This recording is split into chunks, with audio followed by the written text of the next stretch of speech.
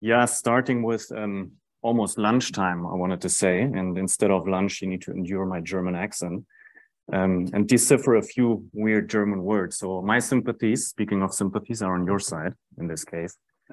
Let's start easy, maybe with, with a poll that I want to do by raising your hand. Um, the current dynamics of sustainability. Do you think businesses need to undergo a transformation? Please raise your hand. Majority. Second question, do you think that technologies are inadequately used so far? So they should be used more, then please raise your hand.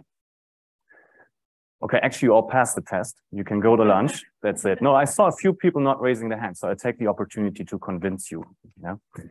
Um, for over 10 years, I've been driving transformations with my clients, um, actually conventional transformations. What would that be? It's strategic reorientations, reorganizations, digital transformation, energy system transformations of countries. And now there is the sustainability transformation. And they all have certain patterns, certain things in common. It's a huge complexity. It's enormous amounts of pressure. It's a lot of attention by, by numerous stakeholders. Um, and we have a lot of speed that is required in order to make it happen. And I must say what I've seen, sustainability has a complexity that is unheard of before, also in comparison to all of the other transformations. Um, for me, technology and AI is still not, or technology and especially AI is still not leveraged enough. And I want to take it to an extreme actually by saying it's actually the single most important mean to achieve the goal. If, if we only knew what, when, how, when, where to use it. Yeah, there's a lot of question marks still there. And we'll dive into that now going forward in this presentation. Um, I do believe that, um, um, as I said, we, we're not doing enough right now in order to meet the speed and the complexity. Um, I'm not going to present about Siemens and our technologies. I know you would love to hear about trains and power plants and all of that, yeah, but we take it to a different level. Um, I will also repeat a few of the things that have already been brought up. And I think that's a good thing because it showed me we're all thinking into the same direction. Um, but I make some extreme points just for the purpose of making extreme points also. You'll see that. Um, it's also a pledge for an entrepreneurial mindset, I must say, entrepreneurial mindset to apply existing technologies to the green cause, not to reinvent the wheel, but to use what we have in order to make it happen. So the question would be, why have we not been able to leverage it yet, right? Why are we not using the technology? And in order to go get to the ground of this, I would look at three problems that we're currently facing. The first being enormous complexity, as I said, and at the same time, enormous intransparency. Actually, it's two black boxes. One black box being the enterprises and the second black box, the playing field. So the playing field that we play on, right? If we look at the first black box, the enterprises, what do I mean by that? Um, I mean by that, that, for example, there's a lot of environmental indicators we need to report on. We've heard a lot about carbon footprint, and I know we all focus on that. Legislation is on top. What about all the other ones? Biodiversity, recyclable, plastics, waste, there's actually 400 KPIs that our major clients right now try to figure out to create transparency on, because that's what we expect to be reporting on in a couple of years' time, at least in the EU zone. So 400, how are you going to make that happen? Especially if you look at where, what are the sources of those emissions? It's buildings, it's fleets, it's your operations, it's your suppliers. You don't have any clue about your suppliers actually in that respect, right? Enormous complexity, even if you look at you have regional companies in your businesses at times if you're a global player. You have different business entities. Um, and moreover, you've got subsidiaries. You don't have access to their data necessarily. So making sense from all of that and translating it into what's a strategy, how to actually steer my, my business is super complex and you end up with a chaos like this picture. No clue, right? Exaggerating. If we look at the playing field, it's a similar situation numerous legislations out there. I mean, yes, we know about EU taxonomy, CSRD, a few things coming, but actually every country has their own, or at least economic region, their own legislation coming up. It's quite nebulous, we would say in German. I hope it's a similar word in English. At the same time, you're looking at what are you actually reporting on, yeah? Um, and what are the things you can calculate? What are the things you have to measure to prove it? What are the things where you have to set targets how ambitious do you want the targets to be? Do you have to be on top of the game and for you in, in comparison to your competitors all the time? Not necessarily, yeah. So how far do you actually want to jump? And then lastly, complete chaos again. Yeah, you have demands not only by regulatory bodies, but by your clients, by investors that demand certain things. Yeah, by public, public scrutiny is a big thing. So what I want to show by this is that we have two moving targets actually. Two moving targets. We have an intransparency on the playing field. At the same time, we try to adjust our strategy and our business to it without knowing what the baseline is. So it's very complex. It's very complex. And we're not leveraging data and technology enough to bring a little more sense on that or, or um, sense about that. If you if you would leverage it enough, yeah, if you if you could make it um, if you could be on top of not doing things manually anymore, um, if you could connect the dots, you would leverage information and information is, is often equal to data, right? So I also want to make a point that it's exciting times. We're in a transformation. That's big opportunity. We've heard that before. I, I don't know who it said, but it's opportunity. And for me, it's about an opportunity game. The second problem that we have is that we do not see it really as a business transformation yet. If we would see it as a business transformation, we could learn from other business transformations, especially when we say what are managerial virtues, they're called, yeah? Managerial virtues by which we made it happen in the past. When businesses transform, they face certain challenges that you see here on the board. Next to the transparency issue, talked a lot about that now, we're looking at silo thinking, at, at a lack of collaboration within companies, but, but and, and especially across businesses in an ecosystem. If you do not collaborate, you will not achieve what we have to achieve. Someone said earlier, we cannot achieve it on our own, and I 100% agree. It has to be an ecosystem game, and we don't do enough of that. If I look into companies sometimes, people in the region, not in the headquarters, don't understand a lot about sustainability. They haven't asked about it. There's a lack of communication to a different affiliate. So we don't get um, get the act together to go towards one, one goal. Then we have the lack of competencies and capabilities. I think until now, in a lot of institutions and businesses, the topic has been a governance topic. Right? It's governance and marketing. For the past 20 years, also Siemens was very, very strong in it. But now it's actually a business topic. It determines in the future a lot of our purposes. It determines how successful you will be in the game. That has been different before. And there's usually only a handful of people in a company until now who are knowledgeable of that topic. And that is not enough. Yeah, that is not enough let alone what is requested to report on and all the other things that are said, you cannot deal with it with a couple of people in a company. Fourth, understanding it as a business opportunity for multiple reasons. Um, one is there's new markets, new opportunities. You can make business. There's new business models, has been said before.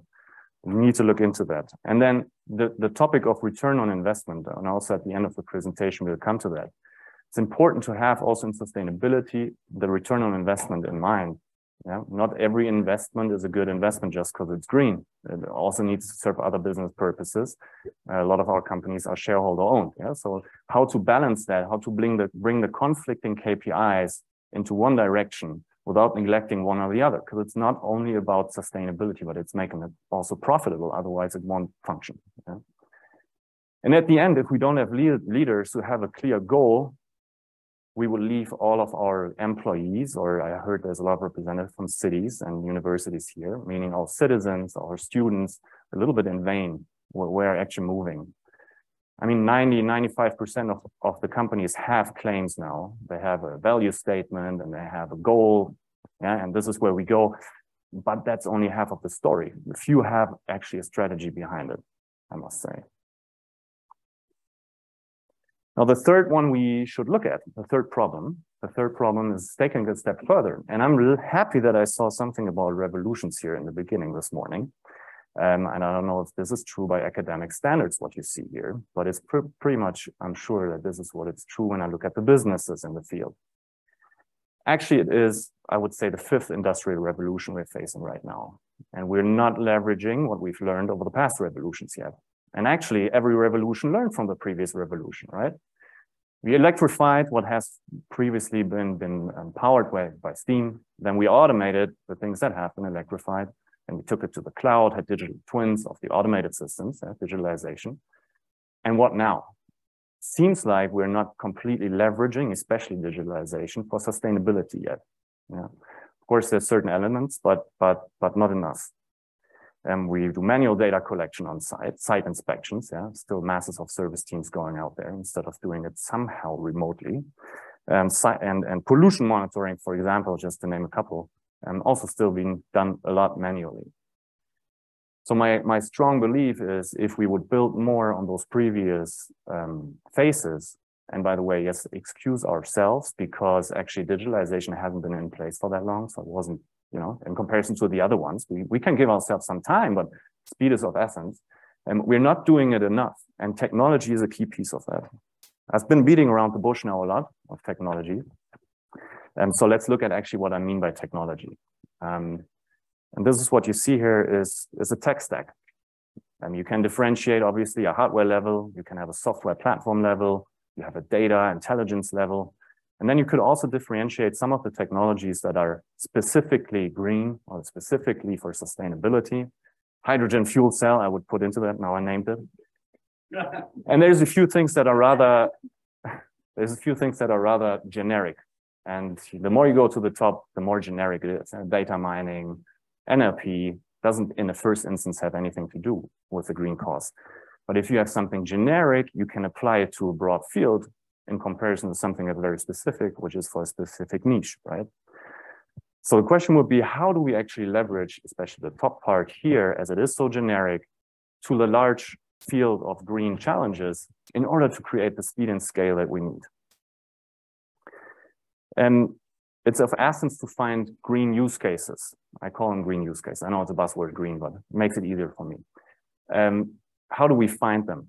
Um, there is endless opportunities. Um, and I brought a few examples from, from Siemens just because those are the ones that I know, know best. And you see a few here, not going to go into all the details, don't worry. Um, you could think about how do you actually structure those green use cases by complexity, technological complexity, by scale, scope. Yeah. Um, a few of those are probably very well known, especially if we look at the bottom left corner, calculating a product carbon footprint, automating sustainability reporting. There's a few more advanced ones, digital battery passport. You know, what is included in a EV battery? Um, how has it been used over the lifetime? At the end of the lifetime, has it been run down so I cannot reuse it? If I if I can't reuse it, where do I feed back all the ingredients? Yeah? To have a digital battery passport is, a big thing in the in, in the automotive industry right now. If you look at neural networks for cooperative um, traffic systems, improvement of congestion, traffic flows, and so on. And then there's eventually some, some, um, some odd ones out, um, some odd ones out, which are more in the top right corner, I guess. Um, you see, for example, um, blockchain and blockchain circular ecosystems and business models. If you work in ecosystems, one of the biggest challenges is the data exchange, right? It's the gold of the companies. Nobody is willing to share, but you have to share somehow. Oh, I see already five minutes. I'll skip some of the uh, very essential contents then. Um, uh, so that data exchange needs to be somehow um, encrypted, which is blockchain based in some of the most advanced ecosystems. Yeah? We're good with five minutes, by the way, because now I'm going to go a little bit faster on uh, on a deep dive. Now, how do you select which ones of those are actually of of uh, which ones you should start with, right? So that's usually the ones that have biggest value. How do you determine biggest value? Just as an example, yeah, um, I would go into you. You have a few use cases where you integrate the tech stack. Don't take only one technology, but where can you integrate the tech stack? Where can you leverage data, obviously, and where can you think an ecosystem? We look at the first one. Um, how can you integrate a tech stack? Just for examples, yeah? um, had a project in um, in Australia actually um, for the Great Barrier Reef, um, and we were simulating um, the response of the Great Barrier Reef to changes in temperatures, for example, acidity and sedimentation. And we did that by using hardware, as you can see, pumps and valves, but also software, control automation system to have a complete simulation of the barrier reef to human behavior um, and maybe ecolo ecological effects. And then afterwards, take preventative actions. Yeah, it's a, it's a simple case of hardware, software integrated and apply it to, to, to the environmental cause. If we look at data, um, had a client that had a huge construction site, construction site of the size of a city or even a country, I must almost say, hundreds of subcontractors, and at the same time, large um, areas that needs to be environmentally protected because of biodiversity and so on. So we're trying to figure out which technologies to use which patterns to use in order to detect uh, misbehavior on those construction sites. So we took drones, cameras, um, and then sensors where I always forget the name because it's English, LiDAR sensors. Took LiDAR sensors to see where there's changes in the soil, um, where there's pipeline leakages, where well, there was illegal dumping, speeding on the road by, by, by trucks that are carrying hazardous substances. And that would all play back to a control room, alerting, okay, there was misbehavior and you can take preventative action. Yeah. We'll skip the next ones. Um, I think this one might be relevant and then, and then I come to an end is how do you actually use platforms? And if we take, for example, waste management, um, had the technology of, of GIS, Geographical Information Systems, several sources, satellites, um, GPS, um, sensors in the field to create transparency on the volumes, on the type, the location of waste, cities and states and countries. And you can optimize actually the collection and the cleaning based on that, right? So what are the schedules? What are the routes we drive? This would be cost beneficial. And at the end, it rounds up very nicely in an interface where, where um, people steering it um, have the visibility and can actually act. Okay, we skip the last one and we come to the end. I told you um, I keep it simple. Um, so I have a few takeaways for you. So first of all, sustainability requires a transformation of businesses and markets. I think we all agree. Transformation management virtues therefore have to be in place. Second, sustainability, I would call it the fifth industrial revolution. And we need to leverage EAD, electrification, automation, digitalization more extensively in order to make it happen.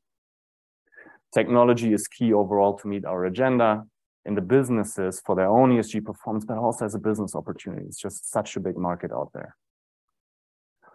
Fourthly, um, existing conventional technologies have an underestimated key role. I definitely believe in that. And if we want to um, achieve the speed and scale, we need to do tech, in, tech stack integration, data leverage, and use of platforms and ecosystems. And something that at the end, and I haven't shown it, it's don't do it at all costs. Yeah, that sometimes there's fancy technological solutions being sold and they might not be worth it. Uh, we had this this paper toilet paper roll thing, yeah? and similar thing, maybe in a different realm. And always think about when is it when is it really feasible from an economic point of view, because then only then you can also convince managerial boards. And I think also someone brought up that that challenge. Yeah, that's still in their thinking, and it's important it's in their thinking because they manage the company. So always look at ROI also of the tech investments by that, I'm done in time, I guess. Yeah. Thank you.